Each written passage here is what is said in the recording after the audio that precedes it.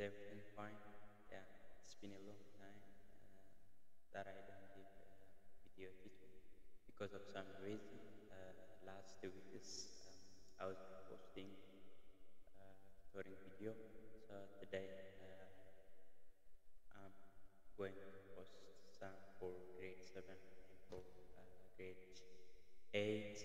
Uh, but I have scheduled uh, the first one is for uh, Sunday is for Sunday for grade 8 and grade 7 and for uh, Saturday it will be for grade 5 and grade 6 because some grade 5 and grade 6 students were asking me about this. That's why I just want to change uh, my schedule. If I give only for grade 7 and 8 um, they will not be participating.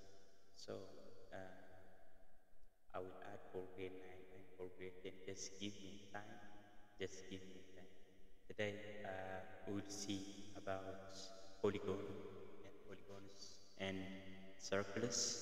So polygon is uh, a simple closed plane figure followed by three or more line segments joined into, into. It means that any polygon, if it has more than three uh, line segments and if it is a closed figure we call that thing that's polygon let's say here uh, as you see from here this is a polygon. This is a polygon. So uh, so we have regular pentagon irregular pentagon triangle concave polygon irregular hexagon complex polygon. As you see all of them are there we call them polygons. So when we talk about polygon, uh, we have concave polygon and convex polygon. So concave polygon is it's a simple closed polygon has at least one interior angle of measures greater than 180. Yes, must measure at least one, 180. As you see here, concave is a concave. And we have the second one is convex polygon. Convex polygon means each angle is must be less than 180 degree. It must be what? Less than 180. As you know, we have triangle, quadrilateralis, um, from quadrilateralis, a square, uh, and other rectangle, pentagon, I mean, uh, rhombus, all of them are the uh, convex polygon. But here, as you see, you have concave octagon. Octagon means if uh, polygon, if it has eight sides, we call that pentagon. So this is concave uh, octagon. Uh, and the other one, this triangle is convex polygon, right? As you see here, each angle is measured than 108. But for irregular uh, polygon, I mean uh, concave polygon, the one angle must be measured 108 at least one angle must measure 180 so um, number of all possible diagonals uh, we can draw uh, this works for uh, convex polygon convex polygon so here we have regular pentagon we can draw what uh, possible diagonals by using the formula of n into n minus 3 over 2. This is the given formula, number of all possible uh, diagonals. We can draw from here up to here, from here up to here, from here up to here. You can just calculate n means number of sides. Let's say that let's find the pentagon, number of all possible diagonals. Pentagon has five sided, so n means it has a number of sides. So pentagon means it has five sides, right? So 5 into 5 minus 3 over 2, right? 5 minus 3 is 2. Then uh, 5 times 2, 10, 10 over 2. So pentagon has 5 uh, possible diagonals. You can draw by using pentagon. Pentagon, you can draw 5 diagonals. Uh, from each vertex, you will use the formula uh, n minus 3. That's how you find. That's how you find. Okay. And the other one, uh, it's about circle so circle is, a circle is a set of all points in a plane that are equidistant from a fixed point called center of the circle. As you see here, we have radius, chord, diameter, tangent, secant. This is uh, their um, part of the circle. So let's see them. Um, an arc is a part of circumference. Let's say that the arc of the circle, we call this circle C, right? It's circle C because we assign, we symbolize the circle based on uh, the center of uh, the point here C. We have in the center we have C, right? So we call the circle circle C. You can say that circle A or circle E, but uh, here we are, what we assign is C. If we were assigned that circle, uh, if we make this O, it, we could say that circle O. But here we said that C, it's circle C, it's center of the point. So uh, EKF is um, arc of circle, right? It's an arc of circle. It's an arc of circle. And you have uh, ADG. ADG is an arc of circle. ADG. It's used here. ADG. It's an arc. Uh, and the other one, FBH. It's arc, right? So we have the other one is uh, chord uh, circle. Chord circle. Here we have EF is a chord. Chord circle, right? EF is chord circle. And the other one, uh, we have uh, diameter, diameter. So diameter of the circle is AB is the diameter of the circle.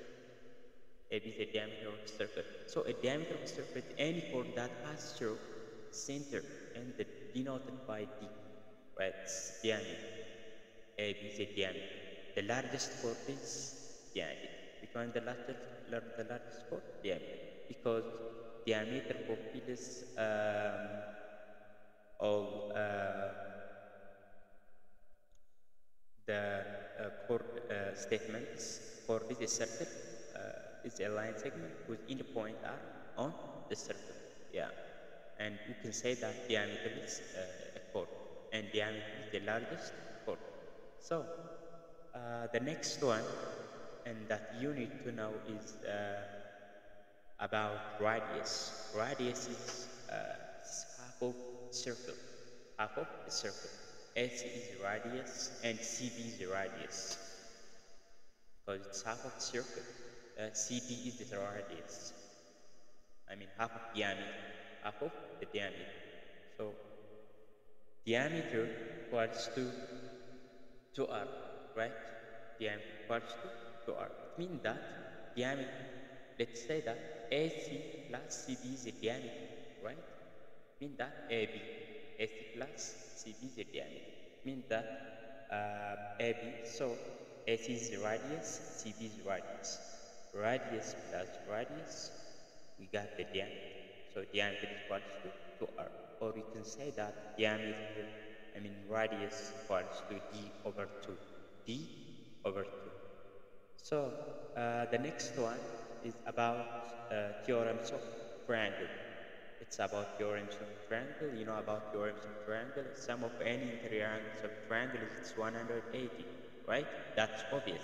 And we have many type of uh, triangles. We have lateral triangle, we have isosceles triangle, we have scalene triangle. You have learned that before. Uh, lateral triangle means all sides must be equal and all angles must be equal. That's an equilateral triangle. And the second one was um, isosceles triangle, right? The two sides and the two angles must be equal. The, the one angle may, may be different, right? So, by the way, equilateral triangle, it can be uh, isosceles triangle.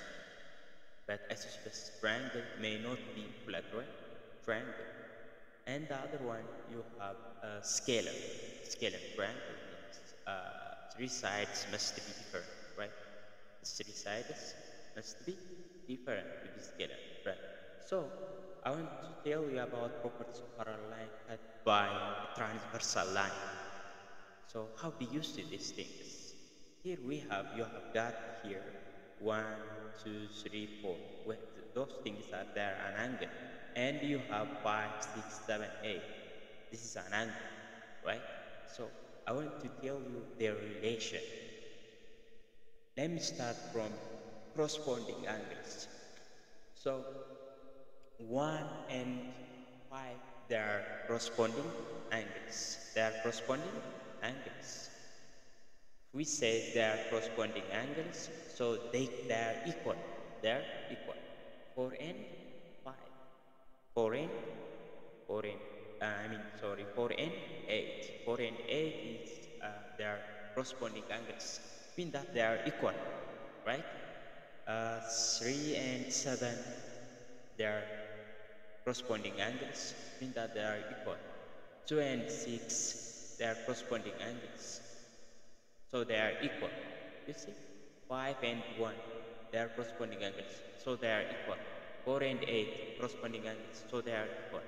That we call them their uh, corresponding angles. And the other one alternate interior angle or interior, interior uh, alternate angle.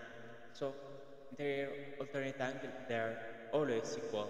Alternate, alternate angle mean that 3 and 5 are interior alternate angle or alternate interior angle.